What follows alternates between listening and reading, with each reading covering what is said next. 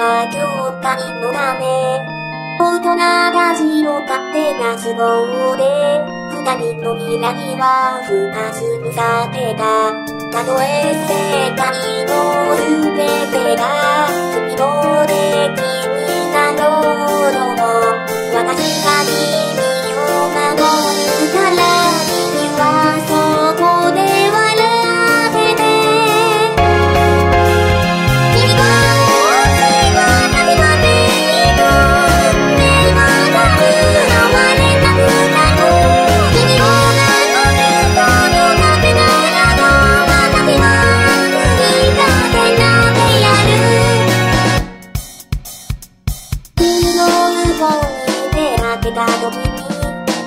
じで見かけた青い花子を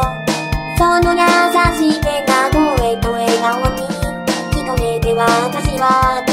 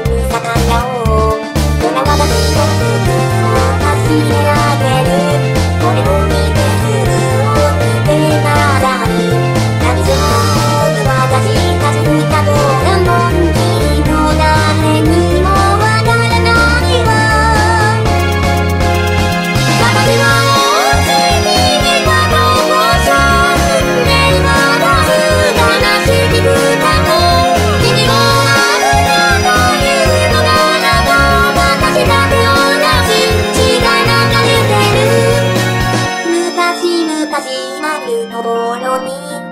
幕が開く人の僕を頂点に君臨してばとても優しい私の兄弟次さまと言わってきた。